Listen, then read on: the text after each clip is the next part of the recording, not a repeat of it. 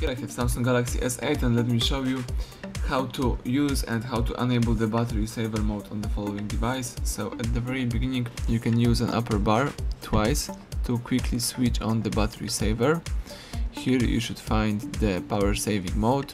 Let's tap it and you can apply the medium power saving by tapping apply right here.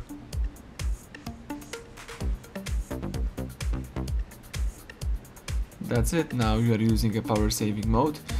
If you would like to change the settings or find the power saving mode in the settings list, let's open the list of all applications, tap settings, scroll down and let's choose device maintenance, choose the battery, here you've got the information about the battery and here you've got the power saving mode. As you can see right now you are using the medium power saving.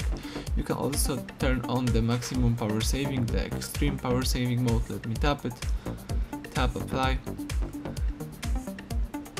And as you can see the device is enabling the maximum power saving mode. Let's wait a couple of seconds or even a, about a minute.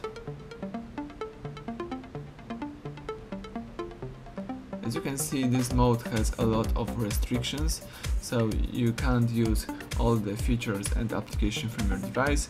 If you would like to quit the maximum power saving let's use more key right here and tap turn off maximum power saving. So now the device is switching on the normal mode on your phone